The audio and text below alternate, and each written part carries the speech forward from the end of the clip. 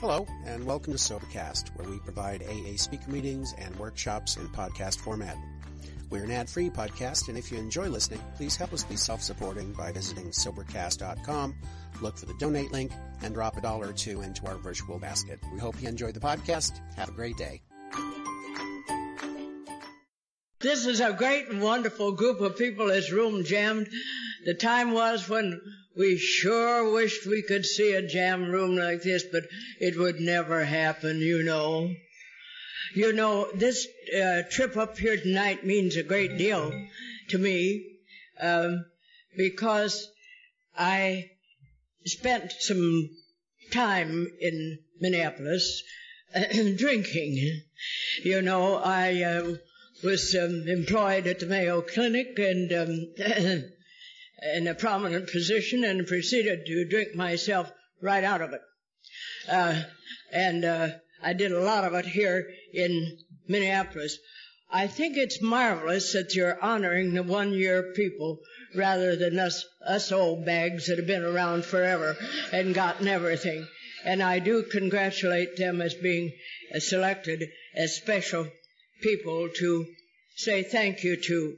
I couldn't help but think when um, this young lady got up what I did on my first anniversary. Uh, one of the things that I I feel very strongly about celebrating tonight is my brother's 52nd uh, anniversary. He is dead now, but uh, on my first anniversary, uh, he was sitting right down here in the front, uh, looking expectantly at me when I got up to receive my emblem, and uh, I had uh, wanted to make an impression. After all, I'm a professional and I've got brains and so forth, but I don't know where they'd gone. Uh, they had taken a little trip. Uh, so I wrote out a nice speech that I was going to give, and I'm all practiced up and I'm really going to wow them, you know, all those drunks. I really wasn't a drunk. I was just overtired. I had fooled 23 psychiatrists and they had put me in the hospital for rest because I was tired. It wasn't my drinking and all those pills that I was taking. You know that. And uh, I had written out this lovely talk that I made and I'm going to read it. And my brother was sitting about where my friend is sitting. And I got up and I said, my name is Jerry and I looked down at my brother, and the tears were streaming down his face. And I drew in my breath and I said, and I'm awful nervous, and I think I'll sit down. and it was the best talk I ever gave in my life.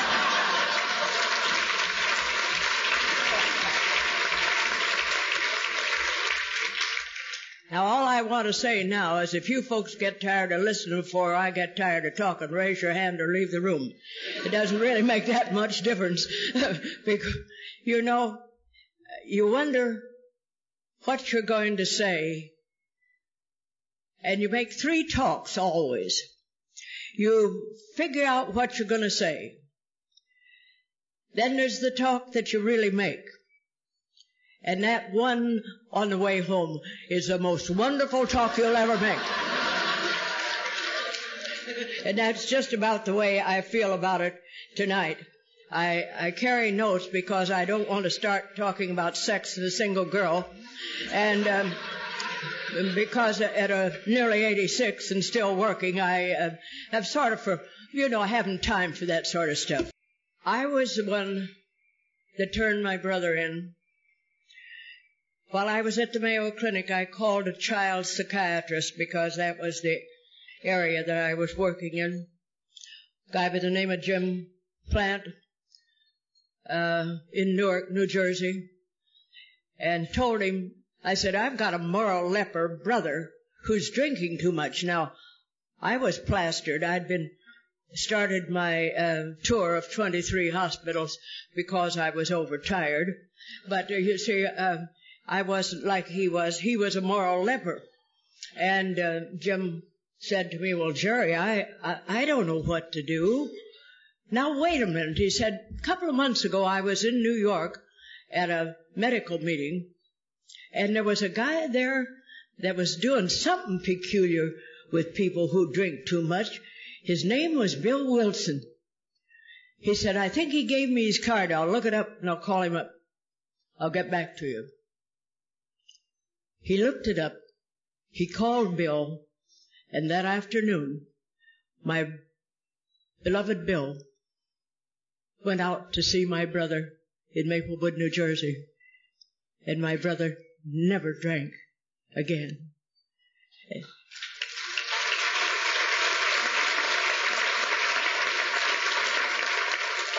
One of the great benefits, side benefits of that, was becoming close friends of Bill and Lois. Now remember, I was still drinking, and Bill was so patient with me. I was such an idiot. They called me an overeducated idiot, and I believe I was, they were quite right. And I would say to Bill, uh, Bill, how do you work that thing? And I'd wave my hands. I wouldn't say AA. Uh, how do you work that thing? And he was the most patient soul living. He'd say, Jerry, don't drink. Don't take those pills. I was in Towns Hospital seven times and threw Dr. Silkworth out of my room, and he wouldn't come back when I invited him to come see me. Uh, so Bill knew that I was taking pills, and uh, he said, "Don't drink. Don't take those pills. Go to meetings." And he hesitated and said, "And shut up and listen." if he said that to me once, he said it to me fifty times because I was still so bummy that I kept asking him, how do you do that thing? And I fortunately was able to know Bill and Lois very well. It took me six and a half years to find out that I had a problem. Of course, the fact that I was locked up in a psychiatric institution on the west side of Chicago that had uh, iron bars on the windows and an iron bed and a peephole in the door might have had something to do with persuading me a little sooner. Uh, I didn't know how I got there, and I prayed for the first time in I don't know when that my brother, that moral leper brother, would come and get me. And 15 minutes later, the miracle happened. He opened the door to that nut house. And he said, honey, you've made a pretty lousy mess out of your life. Do you want to do something about it? And I did, but I didn't want to go out with that bunch of holy rollers that were praying all the time, saying the Lord's Prayer, because I didn't believe in God. I want you to know that. If it wasn't God brought him there, I'd like to know what it was but I was still in the arrogant drunk state. And he said to me, I'll take you back east. But, and he hesitated and he said, I can't help you. My heart went clear down to my feet. My last hope. I'd lost all my pride in asking him to help me and he couldn't help me. And it seemed an eternity before he spoke again. He said, but I'll get someone. That was the smartest thing he ever did, and I say to you who have relatives, don't try to help them yourself, because if he had tried to help me, I would have probably been dead now. But he was smart enough to stay back, and every time I would ask him a question, He'd say, I don't know. And I'd say, you're stupid. And he'd say, yeah, I am. Uh, you know, our relatives can do a lot for us by shutting their mouths. And I urge all of you to do that. At that time, they, they were recommending that the spouse not have liquor in the house and not drink. And if you don't mind my saying so, it's a wonderful idea. If you're not an alcoholic, would you tell me why you have to drink alcohol? Would you tell me why you have to serve it? Alcohol is not a life necessity for anyone, but uh, I was just lucky. Uh, why am I uh, so lucky? Uh, being an addict? And addiction is pain plus learned relief, my friend. And I certainly got relief, I thought, from alcohol and drugs. But you know something? It wasn't relief. It was a cop out. And so I had to learn what relief meant. Um, I was in a bad spot because I worked for eight professors of medicine from Northwestern University, and the pills were just beginning to come on the market. And as every new medication came in, they said, we'll try it on Jerry, and if it doesn't kill her, it won't hurt the patients. They, this was over the counter, and they didn't think anything about it. And we have to be, as alcoholics, be careful of the over the counter things. They come in and they're all right, and six months later they're not all right. Uh, because this nearly uh, did me in. But I was lucky that I was working with those men because it was one of those men that I came to the Mayo Clinic so many years ago. And you know what? We were doing a, a special uh, project. And you know what it is? What they call parenting now. But we didn't have a fancy name for it. So uh, it didn't uh, go over that big. But I, uh, the people at the Mayo Clinic have always been very, very good to me, and I'm very grateful for it. Um, I kept hitting the hospitals even after I got up there because I was overworked. Aren't we the greatest liars in the entire world? You know, if they were to have a contest of who's the greatest liar in the country, it'd be a drunk or one recovering that would get the prize. You know, uh, the time came after I was locked up in that nut house when I went back east. And I went to AA forcibly. They say, oh, you can't force people to go to AA. Of course you can afford, force people to go to AA. Uh, sometimes it's sentencing, sometimes it's coercion, sometimes it's job, sometimes if we can get people to cooperate, we can go uh, to some of the meetings, whether we want to or not. And I was fortunate because Bill and Lois spent the weekends at my brother's, and I went to the meetings. There wasn't any Al-Anon then, girls, and the wives let me sit with them. The boys didn't want women in that nice little men's organization of theirs, and they made it very plain, and uh, particularly one that stunk like I did, uh, because I was not uh, um, the nicest thing in the whole world.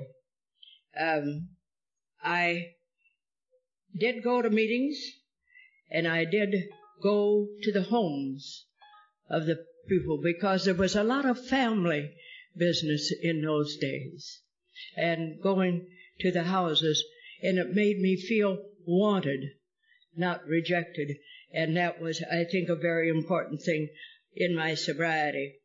Um, I went to meetings consistently, and we had very good meetings. Then we had to go long distances, and it'd be a car full of people going, and we'd have a meeting going, and the meeting we'd listen to, and then we'd have one on the way home. And I w- was overwhelmed with AA, and you would have thought something would have gotten through, wouldn't you? Well, after all, I was too bright for you folks. I'm sorry about that, but I just was too bright. So I packed my things. I was working at the hospital at that time and I'd put away enough to get a ticket back to Chicago to join my friends and drink like a lady. Could I have my water, please? And I wanted to drink like a lady. I never wanted to be anything except a lady, but uh, I managed to be anything but. So I bought a ticket and I packed my bags and shoved them under the bed. Still the same sneaky person, not drinking and drugging for nine months that I had been. Lying, cheating, stealing. You can call it what you want to, but that's what it is. And I was all set to go. They took me to South Orange to a meeting that night. I can't tell you who spoke or anything about it. But I went home and the AA book that had been given me by Bill was on my bedside table. Now remember, I had thrown it out the window into the snowbank. It was poorly written. Oh, stunk. And uh, it came back on the night table and I threw it in the garbage because after all, such trash that was talking about stopping drinking, uh, it was just trash. And I threw it in the garbage. And it came back on the night table, a little greasy, but it came back. And then I threw it in the dirty laundry that went to the professional laundry. At least it'd clean it up. But it came back on the night table. And this night when I was going to run away, I came home and that book was on the night table. And I picked it up. And it fell open to the chapter on how it works. Rarely have we seen a person fail who has thoroughly followed our path.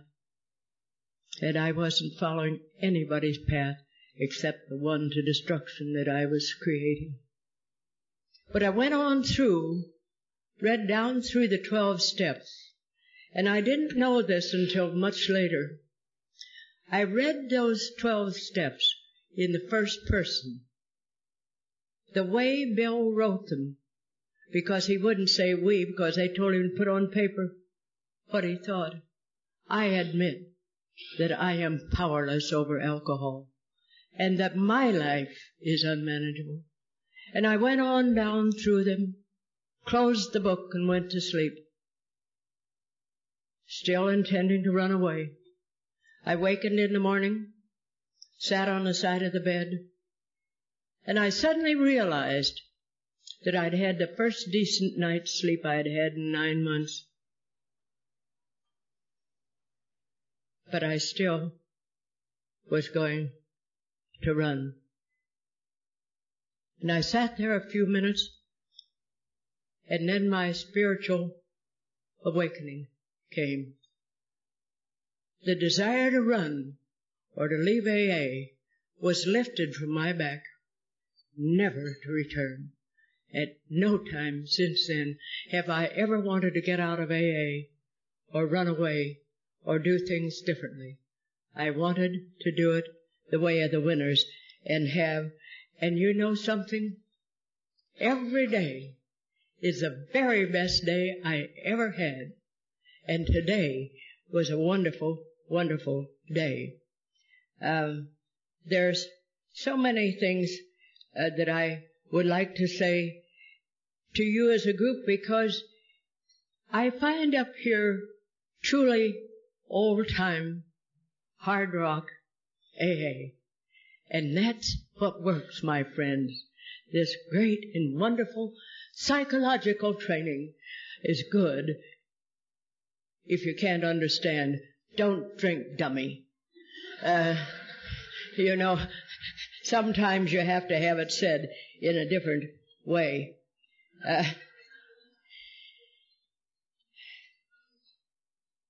the things that were given to me by AA are too numerous to mention. Um, I didn't believe in God when I came. And one of the smart old timer said to me, how about good orderly direction? And my friends, God has given my life good orderly direction. And I didn't worry about it for a long time. And then I began to get um, mixed up um, with religion and spirituality. And I don't know whether any of you know the drunk monk or not, runs the monastery down my way. But he and I got to talking about religion. And he said, uh, uh, don't forget that there's a difference between dogma and spirituality. Dogma is the way you set your table for your friends. And God is the best friend you will ever have. And how you set your table for Him means not one whit. Now my uh, father was a hard-shell Baptist. My mother was a Methodist. I married a Roman Catholic, and they forgot to baptize me. Um, it never seemed quite wor- worthwhile. But I, uh, today, I'm grateful to go to any house of God, regardless of what they call it or what they name it. And how they set their table is their business because I don't tell you when I go to your house to dinner how to set your table, what to feed you. But the thing I was having trouble with was spirituality. And spirituality in the simplest form that I've found is a set of standards that you try to live by every day, that you think the God of your understanding would accept if you were called tonight. And the drunk monk said, Do you have such a standard, Jerry? I said, Yep. Said, Have you got it written down? I said, I don't have to. It's on the wall because in my office there's a big plaque of the 12 steps. And his remark to me, I wish to pass on to you. Be sure you go up and down them every day. Don't forget that they are to be used, not abused, but used in your life and not for anyone else. Along the way, I uh, heard that they uh, kissed a lot, you know, they keep it simple, stupid. And I found an Irishman that I practiced on. And uh, here I am with all this mess of religion, and I married an Irish bachelor, 50 years old, that came complete with aged mother as a package. But he was just coming into AA about the time I was, and we went to meetings, and we did marry. And I loved him the day I met him. I loved him the day I married him. When love is understanding whether I approved or not. And I loved him the day he died. Because along the way, Tom helped hundreds of people. He saw to it that there was a clubhouse built. He was a very hard worker. He would take anybody any place at any time of the day or night. And he, I say, he helped hundreds of people. But he never knew anything about medication. And I think we have to be very careful about the medications today that are coming across the counter. The painkillers, the mood changers, the new ones, the old ones, the uppers, the downers, the in-betweeners. Look out for the swinging doors. Because we return to the drug of choice, which for me was alcohol, although I took a lot of pills.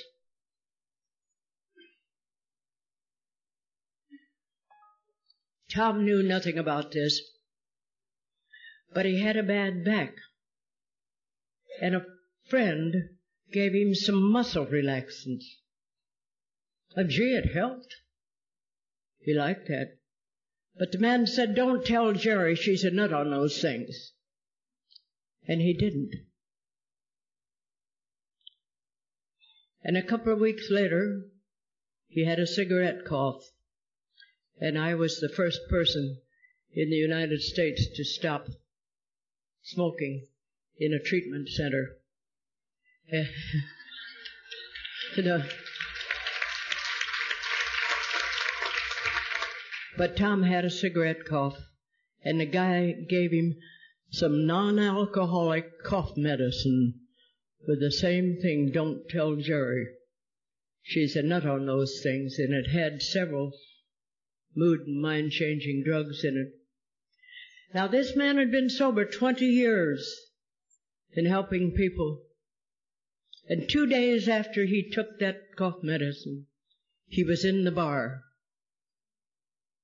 And he was in 14 hospitals in 17 months, and he bled to death of esophageal varices. I tell this because perhaps his death may save someone else's life. Because he truly didn't know. But he died just the same. This disease is very patient. It will wait for you forever. I have only had to have drugs once since I got sober. And I had been sober five years, working in the hospital where I had the surgery. And I told the anesthesiologist, uh, uh, I react very poorly to anesthesia. You have to give me a lot. He said, Oh, Jerry, mind your own business. I'm the anesthesiologist. Don't you know that I know more than you do? And I said, Well, don't say I didn't tell you. And uh, so they gave me an anesthetic, and it didn't work. And they gave me a second one, and it was iffy. And the third one finally knocked me out, but they didn't give me enough, and I came out with the anesthesia on the table while they were still stitching. And my language sober is not exactly uh, the best in the world. and I never asked anybody what I said, but I was next to the operating room and every doctor in the hospital looked in my room, took a look at my face and began to laugh. Now, I'm not dumb, so I didn't ask what I did, but I've got a pretty good idea that I uh, talked uh, just a little out of turn, you know, but I have never found it necessary to take anything since. Um, in those days, we were talking about kissing a lot. Keep it simple, stupid. And you know, um, when we did and stuck together, things went along well. I say to you tonight, whether you're sober one year or 50, we're all sober tonight. And you're as sober as I am, and I'm as sober as you are.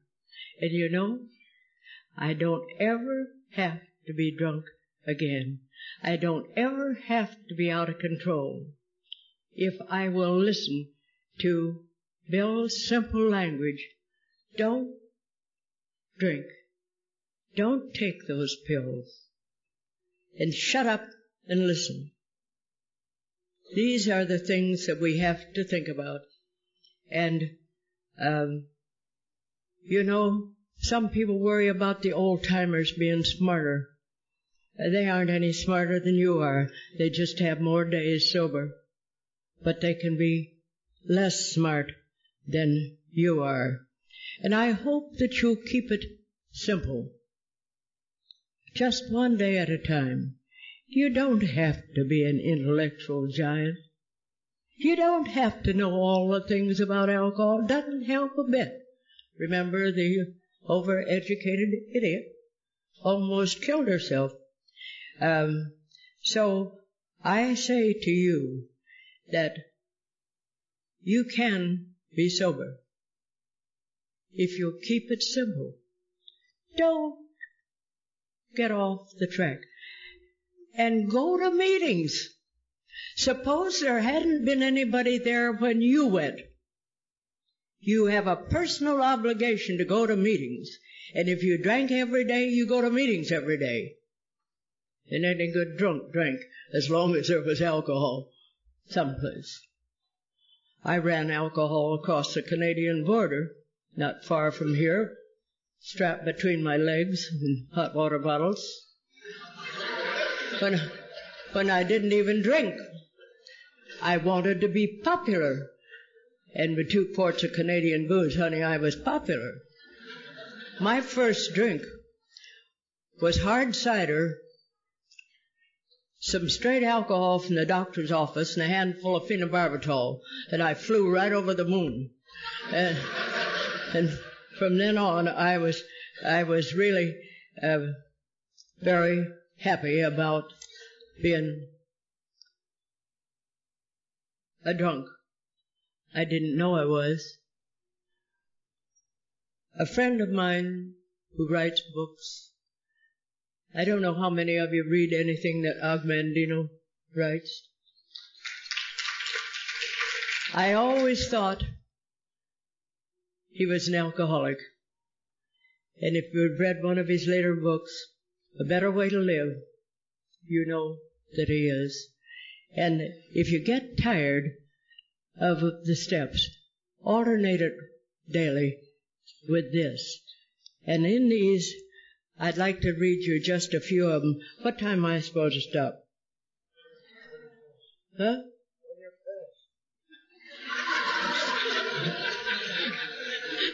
He says I stop when I'm finished. Good night, folks. nice having known you.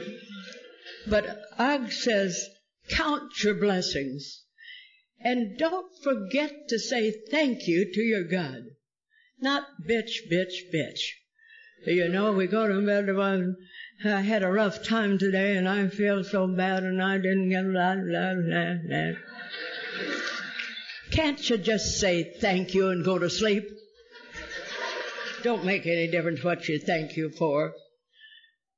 And the second thing he suggests is every day deliver more than you're getting paid to do. I think many alcoholics do.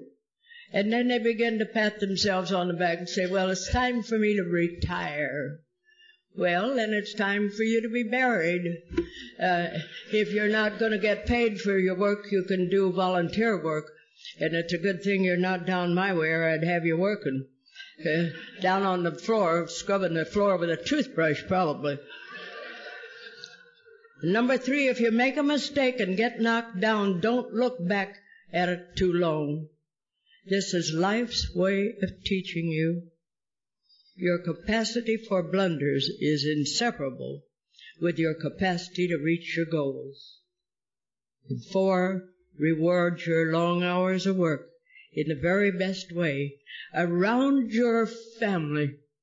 And don't forget that family is so important.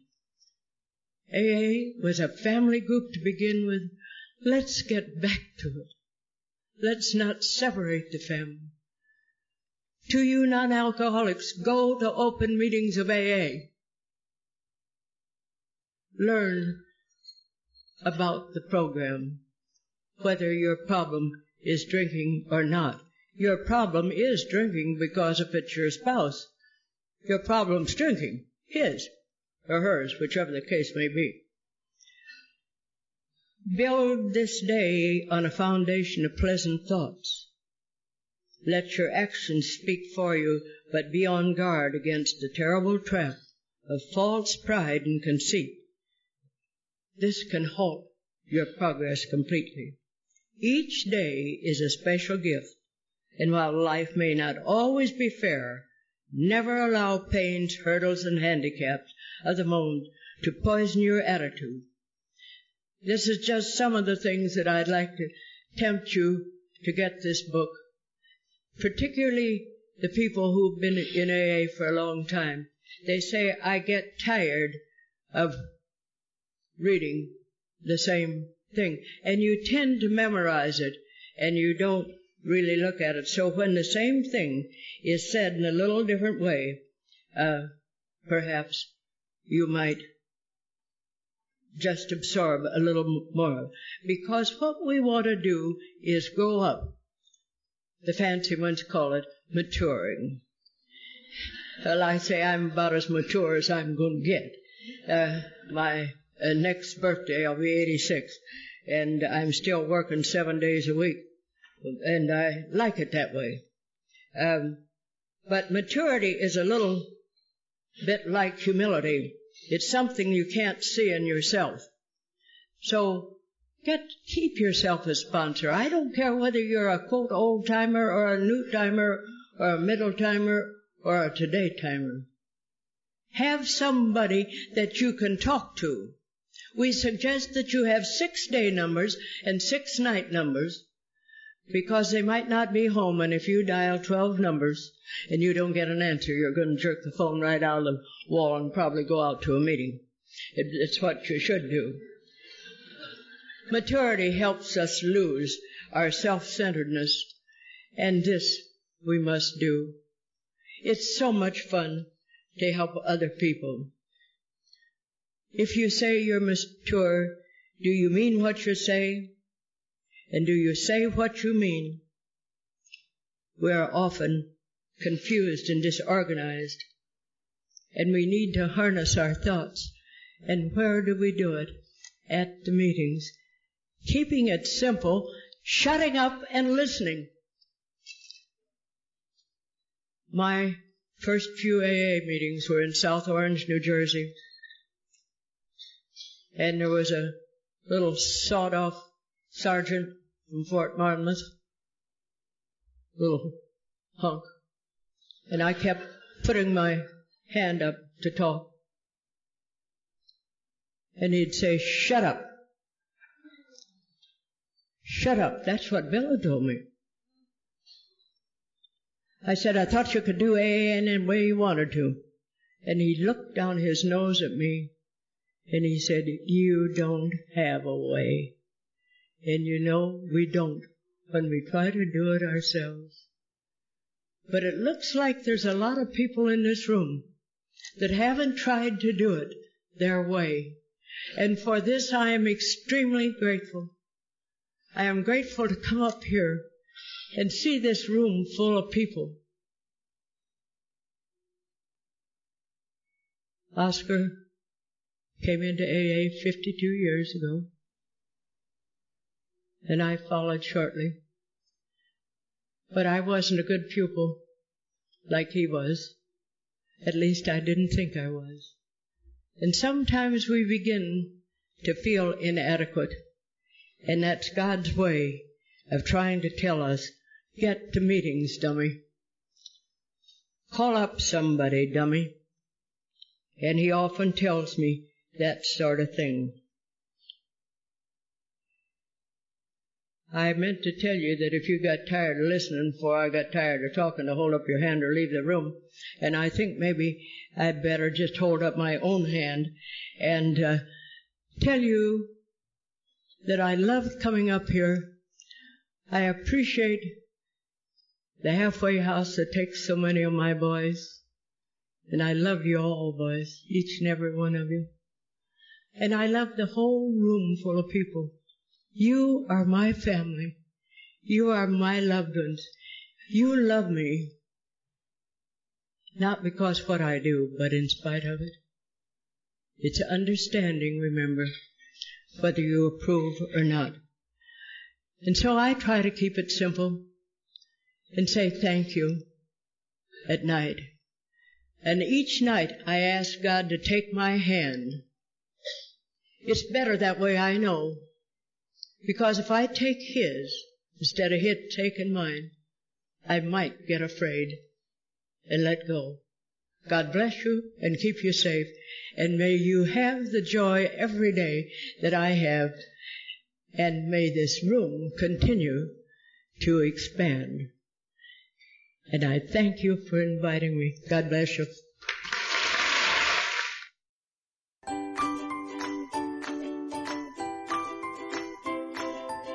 Thanks for listening. I hope you enjoyed the podcast. Sobercast is ad free, and we'd like your help in order to keep it that way. So if you'd like to help us be self supporting by pledging a dollar to a month, visit Sobercast.com and look for the donate links. Thank you very much.